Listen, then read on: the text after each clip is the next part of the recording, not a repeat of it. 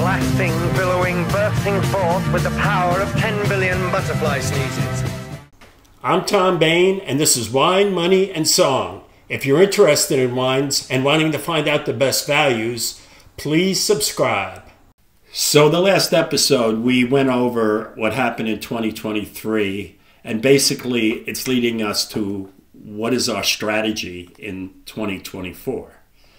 And it was a very tumultuous year, 2023, where a lot of the volumes were down and double digit losses in the wine market and swelling inventories. Uh, and, and, and prices are just too high to exist. Uh, and, and it's too high in Bordeaux, it's way too high in Burgundy. Uh, Burgundy has basically frozen uh, at the top level uh, even though it's a very small supply of wines. Uh, those top wines, uh, DRC wines and stuff in the secondary market, they're not moving through. Uh, the prices have hit a level where, where it's just staying there. And eventually they have to find a price where they'll sell. Uh, I want to tell a story before I go into the strategy. Uh, about what I think you should be thinking about in 2024 and I was watching a, uh, I think it's a car, it's a CarMax commercial or a Carvana commercial, and this family is selling their used car, and uh, the woman is tracking the value of her used vehicle, and she wants it to go up before she sells it, and uh, her husband or her boyfriend is sitting there. Should we do it? And he says, "No, hold, hold." And every day he's asking, uh, and she goes, hold, hold. And four or five times she goes, hold, hold. And then, like at three o'clock in the morning, she's on the internet and she sees the value's gone up a thousand dollars. She sells it. And he wakes up and he says, We sold it. So I want you to think about that in 2024, but I want you to have the opposite philosophy is I want you to hold your buying decisions until the prices start coming down. And are they going to come down? I can tell you one thing for sure they're not going up.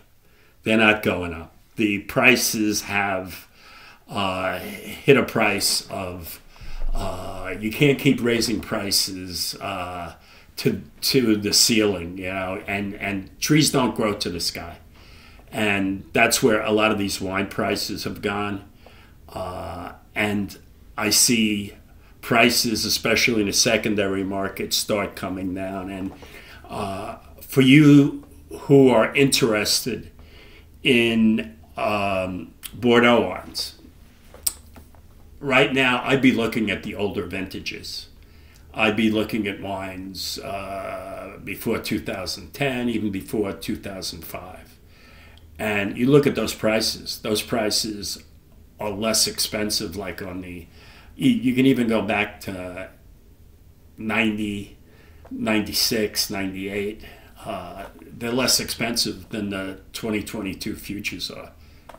What kind of, you know, those are wines that have bottle age on at maturity and they're in their drinking window, while the 2022s won't be in their drinking windows for at least 10 years.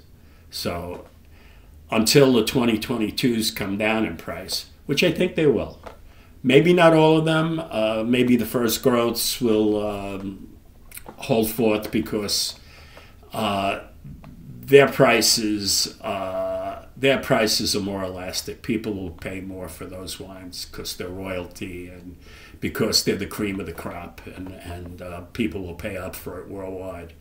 We'll see if they come down or not. If they don't sell, they'll come down. But um, I would be looking for the older vintages, especially in Bordeaux. And in Burgundy, I just wait. I, you know, I would just wait. I wouldn't put my toe in there. And uh, there's been a lot of price appreciation in the P in the Piedmonte wines and in the Brunellos in Italy. They really appreciated uh, in the last five to seven years a lot. And I'd be very choosy. Uh, and my strategy for this year is we're waiting for the prices to come down. And some will come down, but what you should be doing is you should be investigating some of the other areas in the world who produce really excellent wine.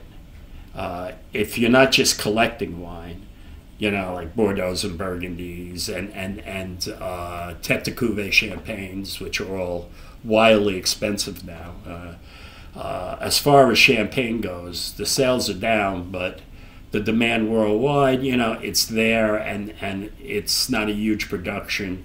Uh, I would be very careful uh, buying those wines because some of the Tête de Cuvées are over three hundred dollars, and and uh, I don't know how high those prices can go. I have my doubts.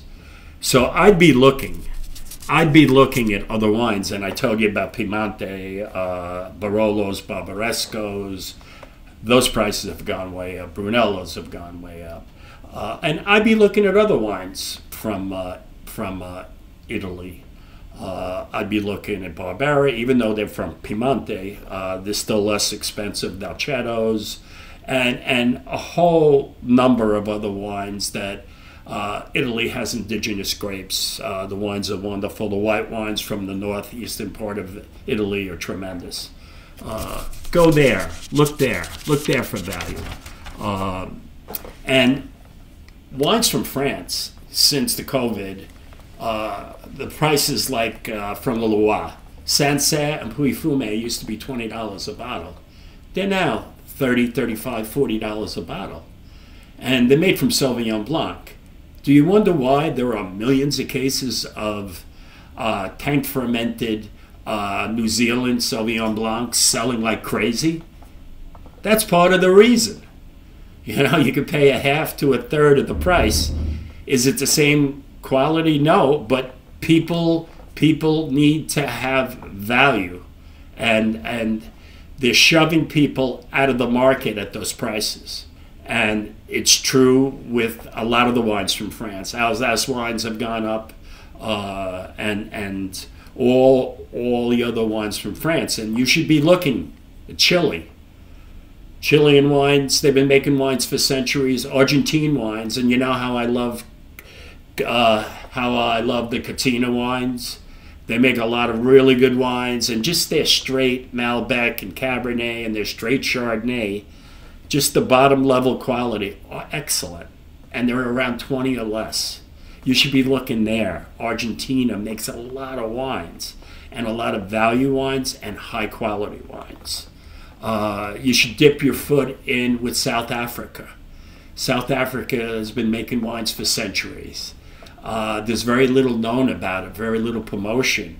But as a wine consumer and just having the curiosity and about learning new things, you should go out there. And, and I'll be working this year to find wines for you to look for from those areas.